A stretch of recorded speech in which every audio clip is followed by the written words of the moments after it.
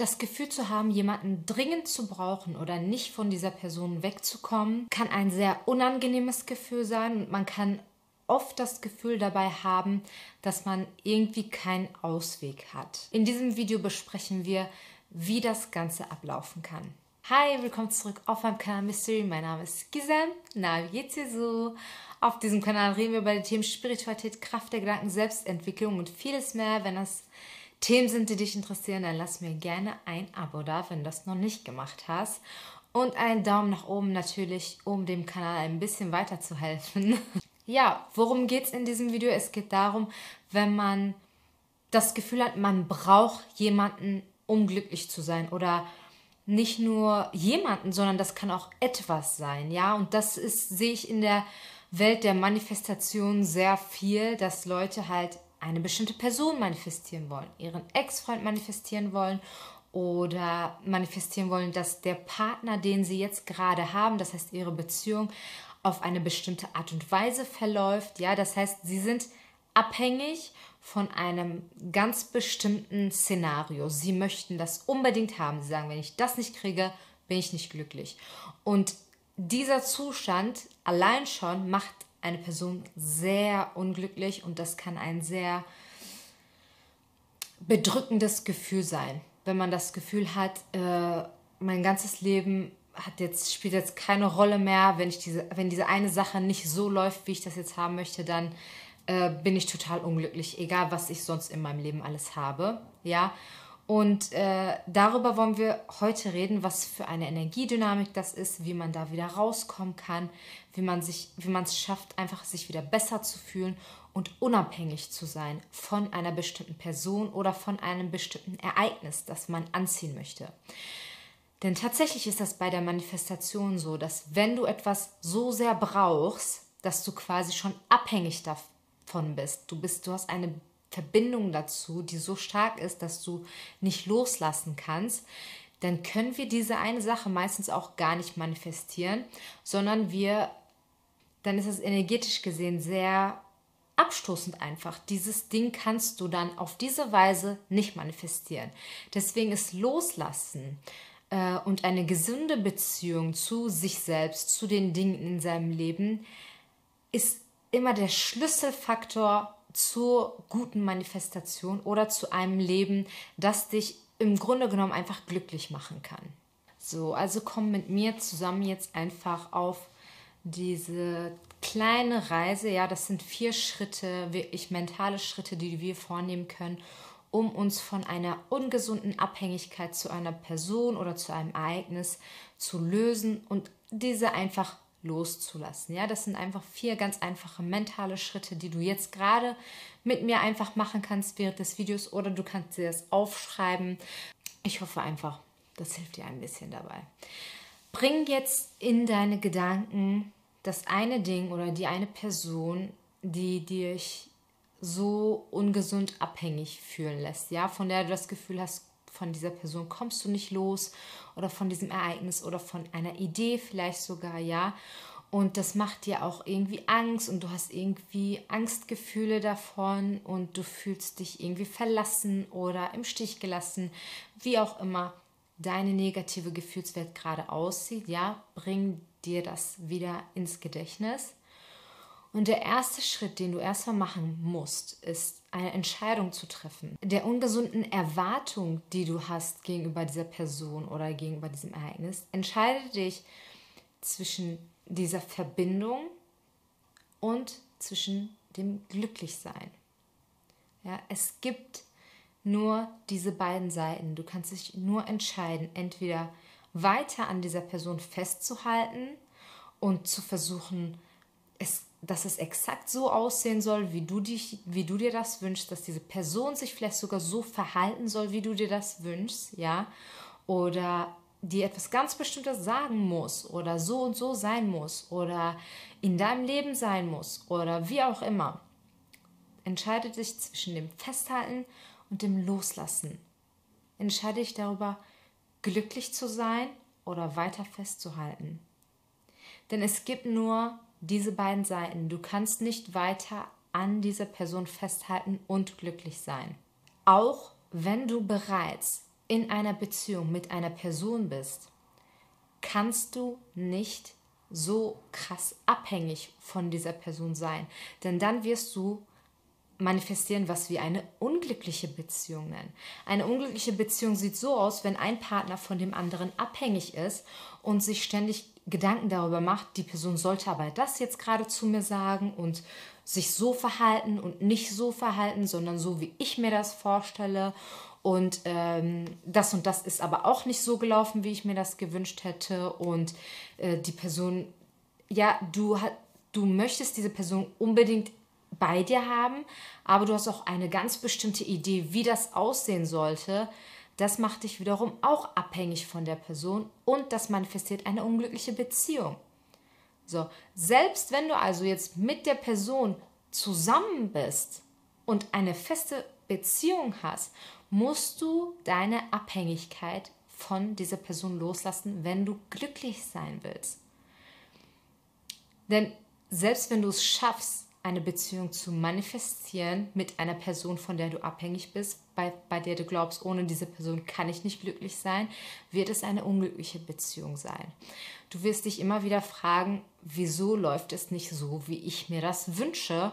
Und genau dieser Gedanke wird dazu führen, dass immer mehr Dinge passieren, die dich unglücklich machen. Das wird dich sehr in sehr tiefer Vibration halten, ja? Also musst du dich jetzt entscheiden glücklich sein oder weiter festhalten. Und ihr könnt euch sicher sein, dass ich die Entscheidung getroffen habe, immer und immer wieder, egal in was für Beziehungen es sind. Es kann eine Freundschaft sein, es kann die Beziehung zu deinen Geschwistern sein, die Beziehung zu deinen Eltern, die Beziehung zu ähm, irgendeinem Familienmitglied, ja, oder die Beziehung zu deinem Partner, die Beziehung zu jemandem, in den du schon seit langem verliebt warst, aber der dir irgendwie nie zurück die Aufmerksamkeit geschenkt hat, die du haben wolltest, ja. Egal welche Beziehung es ist, du kannst nur glücklich sein, über diese Beziehung hinwegkommen oder einfach nur alles akzeptieren, so wie es ist, wenn du sie loslässt, wenn du dich dafür entscheidest, lieber glücklich zu sein, als eine ganz bestimmte Person zu haben oder sie zu haben, genauso wie du sie möchtest. Ja, das kann zum Beispiel auch sein, warum sind meine Eltern nicht so und so? So stelle ich mir es aber vor, so sollte ein Elternteil sein. Warum ist meine Freundin nicht so und so? So stelle ich mir das vor, so sollte eine Freundin sein. Das heißt einfach entscheiden, ich bin lieber glücklich, als daran festzuhalten, ähm, es sollte aber anders sein, ja, oder, oder ich kann nur, wenn, bla bla bla. Einfach entscheiden, ich bin einfach lieber glücklich. So, das führt mich zum zweiten Punkt. Und zwar ist der zweite Punkt, dass man sich überlegen muss, woher kommt diese ungesunde Verbindung? Woher kommt diese Abhängigkeit von der Person? Woher kommt diese Idee, dass eine Person, mit der man befreundet ist, dies oder das machen müsste, ja? Woher kommt das? Und du kannst einfach ein bisschen analysieren, deine vorherigen Beziehungen. Wo wurdest du vielleicht in einer Freundschaft schon mal enttäuscht? Wo wurdest du vielleicht in einer Beziehung schon mal enttäuscht, ja? Bei mir ist das zum Beispiel so gewesen, ich war eigentlich immer daran gewöhnt, diejenige zu sein, die hinter der man hinterherläuft vielleicht sogar oder diejenige zu sein, an die andere gebunden sind. Und wenn man dann sich jemanden kennenlernt oder jemand Neues in seinem Leben erscheint, und dann denkt man sich, ja, bei dieser Person wird das genauso sein. Die wird mir hinterherlaufen und das wird einfach genauso sein, wie ich das bis jetzt immer erlebt habe. Und das ist dann nicht so, dann gerätst du immer mehr da rein, dass du daran so krass festhältst und dir denkst, warum ist das nicht mehr so? Warum äh, alle anderen sind mir doch auch hinterhergelaufen. Warum diese Person nicht? Und dann wirst du so besessen und abhängig davon und dann musst du dich irgendwann mal fragen, wieso? Ja, logisch, weil vorher immer du daran gewöhnt warst, dass alle dir hinterherlaufen. Plötzlich macht das jemand nicht mehr. Du bist besessen davon, ja? Also einfach überlegen, was war meine Erwartung von dieser Person? Manchmal kann sich nur eine ungesunde Beziehung entwickeln, weil du eine ungesunde Erwartung von dieser Person hattest. Das heißt, Erwartungen sind eigentlich das, was immer unser Unglücklichsein provoziert.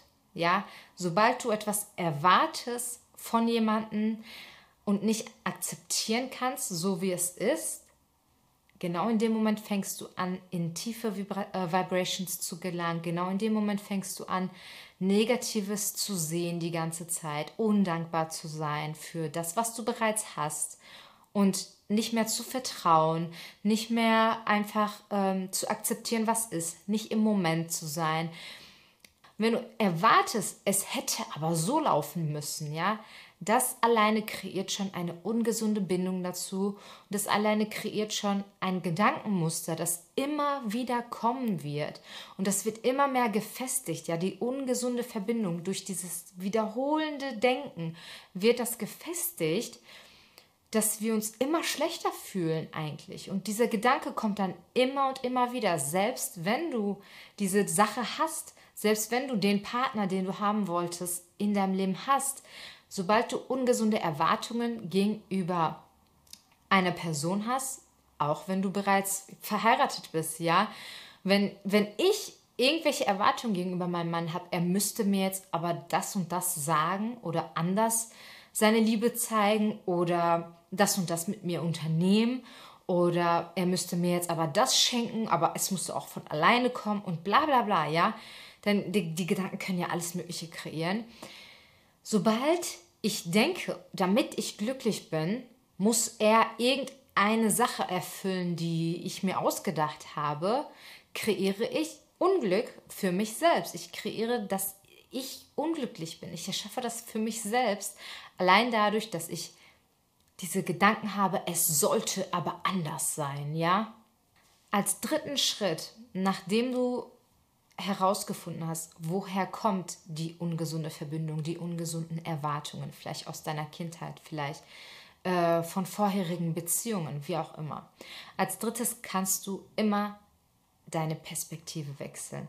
Einfach wirklich die Sache so sehen, wie sie wirklich ist und sagen, es ist gar nicht so dramatisch, ja, wie man sich das manchmal vorstellt. Vor allem, wenn man 15 ist und denkt, diese eine, in den man sich verliebt hat, ist jetzt der einzige und man heult abends im Bett und was weiß ich was. Einfach deine Perspektive ändern. Denk dir einfach, wenn ich 25 bin, wird es absolut mehr keine Rolle mehr spielen für mich, wer diese Person überhaupt war.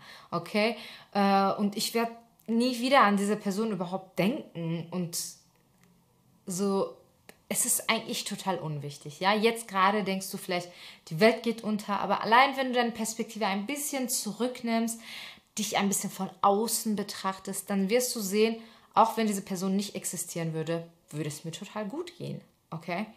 Auch ohne, also auch bevor diese Person existiert hat, ging es mir gut und auch danach wird es mir immer noch gut gehen, auch wenn die Person nicht in meinem Leben ist, auch wenn die Person mir nicht sagt, dass sie unsterblich in mich verliebt ist. Mir geht es trotzdem gut, okay? Und ich bin trotzdem liebenswert. Und einfach diese Perspektive einnehmen, nicht jeder kann dich lieben, nicht jeder muss dich mögen, nicht jeder muss ein guter Freund für dich sein, okay? Nicht jeder ähm, kann perfekte Eltern haben. Fakt ist, dass fast keiner perfekte Eltern hat. Also einfach die Perspektive wechseln und sagen, hey, ähm, das, was ich erwartet habe, ist vielleicht unrealistisch und meine Perspektive sollte aber auf mir selbst liegen und nicht darauf, wer was zu mir gesagt hat oder wer was für mich empfindet oder was auch immer. Der, das bringt mich zum vierten Schritt. Ähm, die Schritte gehören natürlich alle irgendwie miteinander zusammen. Ich habe die ganze Zeit irgendwelche Beispiele füreinander gegeben. Und zwar ist der vierte Schritt dass man sich selbst klar macht, nichts, das außerhalb von mir existiert, kann mich unglücklich machen. Und genauso wenig kann nichts, das außerhalb von mir existiert, mich glücklich machen. Es müsste aber alles so sein, wie wir uns das vorstellen, ja? Ähm, oder alles, was wir nicht haben, könnte uns noch glücklich machen. Wenn wir das und das hätten, dann sind wir glücklich. Wenn wir diese Person hätten, dann sind wir glücklich. Das ist total ein total ungesunder Gedanke, der dich immer nur unglücklich machen wird. Du musst einfach nur realisieren, das Einzige, was glücklich sein ist, ist ein Gefühl, das von innen herauskommt. Das bedeutet, es, das bist du selbst, der dich glücklich machen kann. Nur du selbst kannst es machen.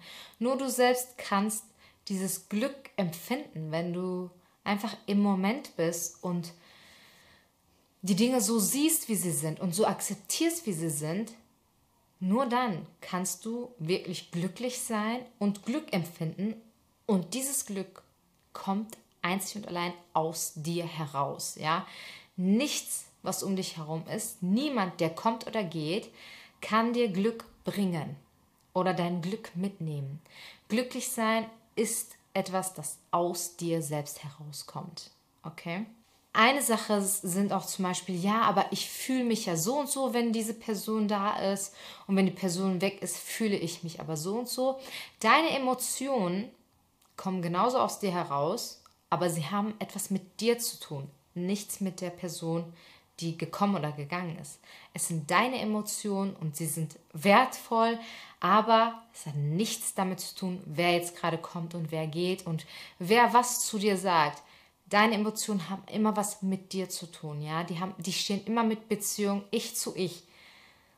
Deine Beziehung zu dir selbst ist die wichtigste, die du in deinem Leben haben wirst. Und wenn diese Beziehung nicht stimmt, kann dir kann dich keiner glücklich machen. Wortwörtlich niemand auf der Welt kann dich glücklich machen, wenn die Beziehung zu dir selbst nicht stimmt.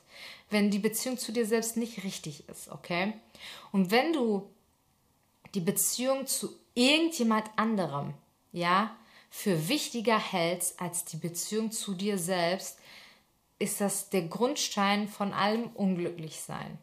Denn die Beziehung zu dir selbst wird immer wichtiger sein. Wenn du denkst, dass dein, dein Glück davon abhängig ist, wie eine andere Person sich verhält oder ob eine andere Person dich mag oder nicht, dann, dann stellst du dich selbst in so ein schlechtes Licht. Wer kann in deinem Leben bitte schon wichtiger sein als du? Es ist dein Leben. Du lebst es. Ja, andere Leute sind wirklich nur Besucher in deinem Leben. Jeder einzelne Freund, der kommt und geht, jeder einzelne äh, Partner, der kommt und geht, das sind alles Besucher in deinem Leben.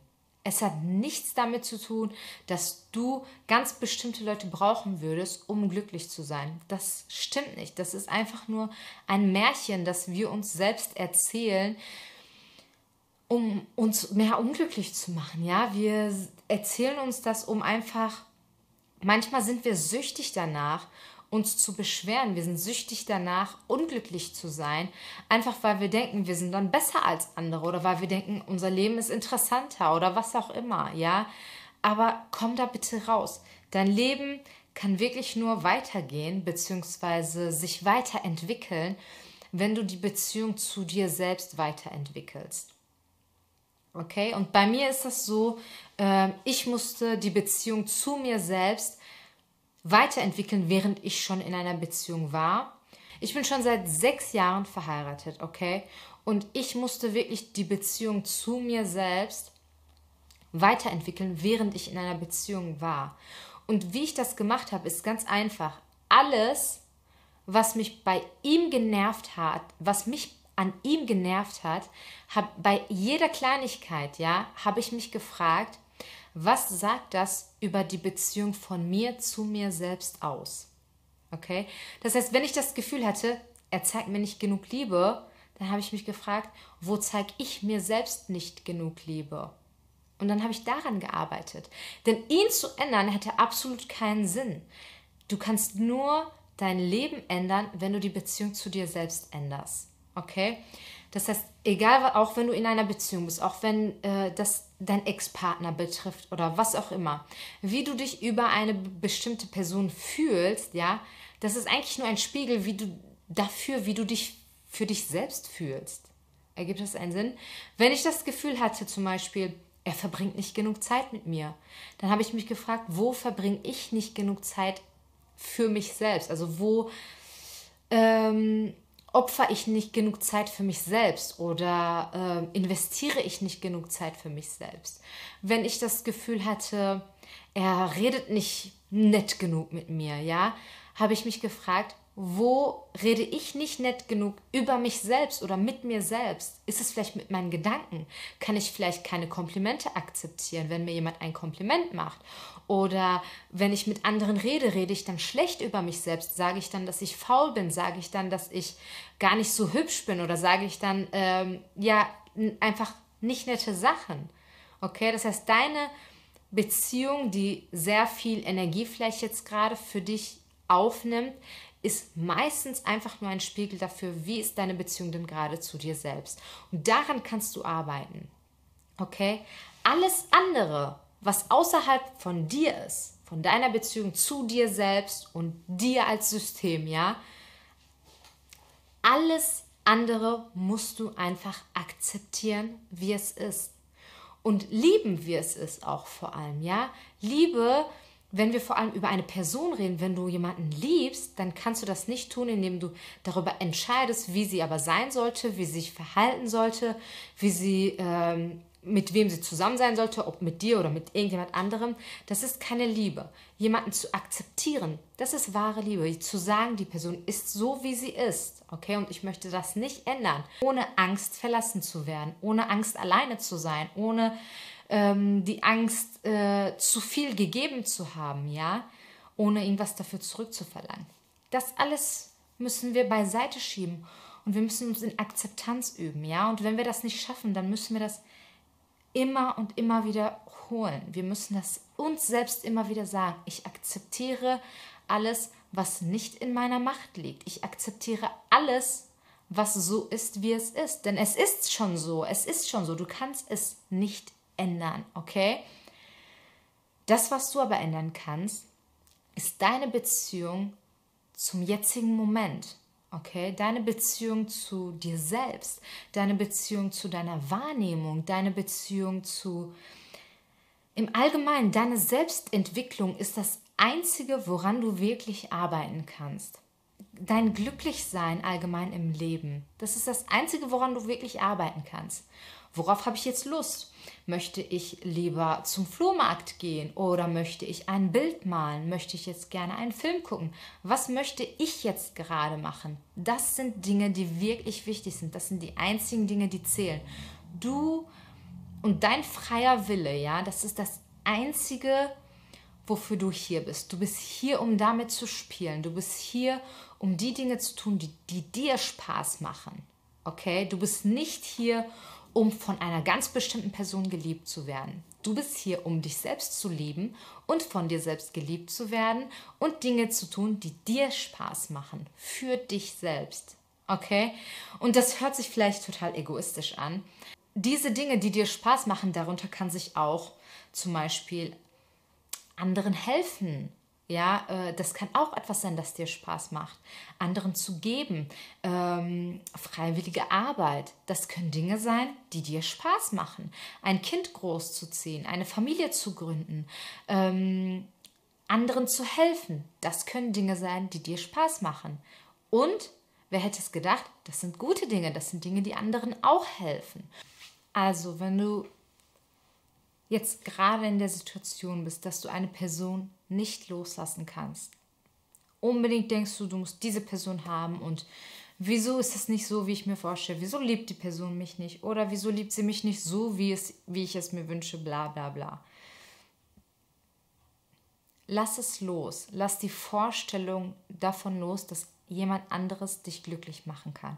Lass die Vorstellung davon los, dass etwas anders sein müsste, als es bereits ist.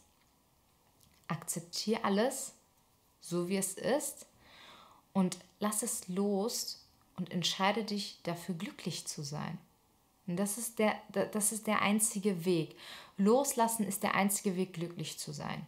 Die Person erfolgreich zu manifestieren, ja, ist nicht der Weg, um glücklich zu sein. Ich glaube, wir kennen alle Dinge oder Ereignisse in unserem Leben, von denen wir abhängig sind, von denen wir denken, wenn ich dieses eine hätte, dann wäre ich glücklich, ja. Und ich glaube, ihr könnt mir alle dahingehend zustimmen, dass wenn wir uns mehr Gedanken darüber machen, was wir haben sollten und was da sein sollte, damit wir glücklich sind, diese Idee allein schon macht uns mehr unglücklich. Okay?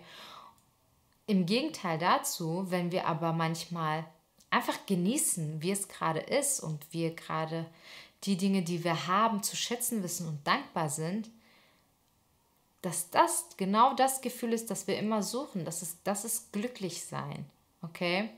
Und der Zustand, wirklich nichts zu brauchen, das ist wahres Glück. Ich, hab, ich habe alles, was ich brauche. Okay? Das ist, das ist wirklich echte Manifestation, ist zu sagen, ich habe bereits alles, was ich brauche, um glücklich zu sein. Nichts, das außerhalb von mir selbst ist, kann mich glücklich machen. Das ist wahre Manifestation, ja. Da fängt Manifestation an. Das ist der Grundbaustein. Wenn du diesen Grundbaustein hast, kannst du alles manifestieren. Aber der Grundbaustein ist, ich bin jetzt glücklich. Ich brauche nichts in meinem Leben. Ich bin die einzige Person, die dafür verantwortlich ist, mich glücklich zu machen. Nichts, das ich bekommen kann, das ich verdienen kann, das ich ähm, das ich mir anschaffen könnte oder was, was auch immer. Rein gar nichts könnte mir Glück bringen. Okay? Glück kommt aus mir heraus.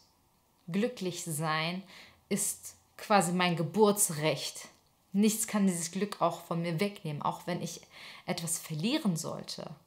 Und das ist tatsächlich der Zustand, in dem wir in unserem Leben am wenigsten verlieren beziehungsweise am meisten Glück anziehen können, das ist der Zustand, den wir dafür brauchen. Ich bin glücklich und ich brauche nichts, um glücklich zu sein.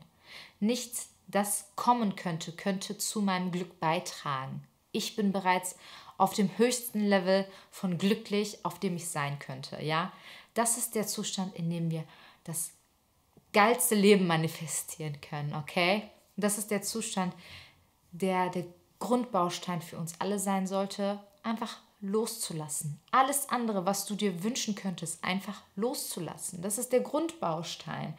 Zu sagen, ich, wie ich bin, jetzt gerade, perfekt, ich bin glücklich, so, fertig aus. Okay?